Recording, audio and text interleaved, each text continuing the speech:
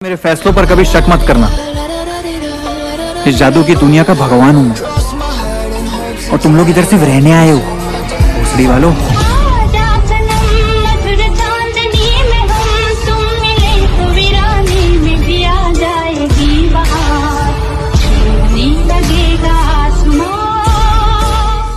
Guys अगर आपको ये वीडियो पसंद आया तो वीडियो को लाइक और चैनल को सब्सक्राइब कर दो।